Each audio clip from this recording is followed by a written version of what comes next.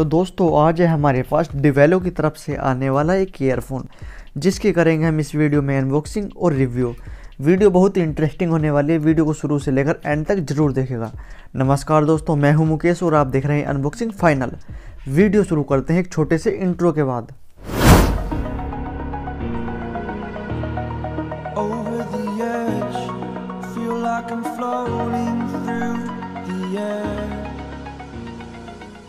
सबसे पहले बात करते हैं इसकी पैकेजिंग की। तो पैकेजिंग के सबसे ऊपर देखा जाए तो डिवेलो लिखा हुआ है, जो कि बड़े अक्षरों में लिखा हुआ है।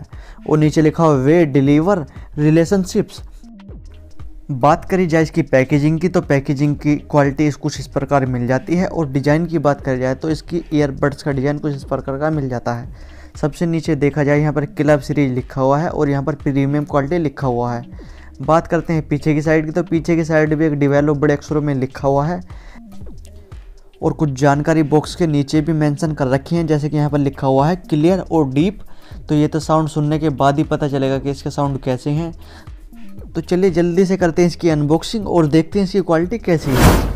सिंपली हमने कर लिया इसकी अनबॉक्सिंग और यहाँ पर क्वालिटी कुछ इस प्रकार मिल जाती है। वायर की क्वालिटी की बात कर जाए तो एक एवरेज क्वालिटी की इसमें वायर आती है।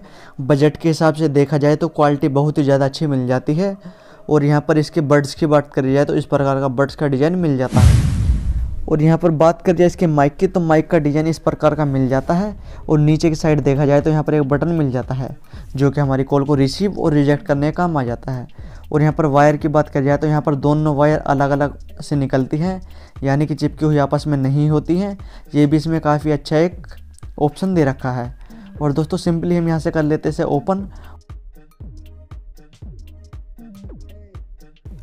और बात कर जाए इसकी लेंथ की तो 130 सेंटीमीटर की इसकी लेंथ मिल जाती है, जो कि काफ़ी एवरेज और सिंपली सभी ईयरफोन के मुकाबले सेम ही आती है।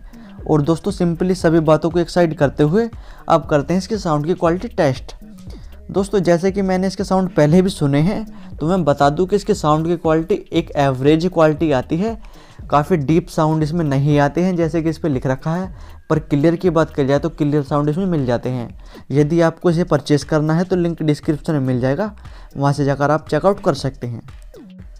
दोस्तों, यदि हमारे वीडियो आपको अच्छे लगते हैं तो वीडियो को लाइक कीजिएगा, चैनल को सब्सक्राइब कीजिएगा और बेल आइकन को प्रेस करना मत भूलिएगा।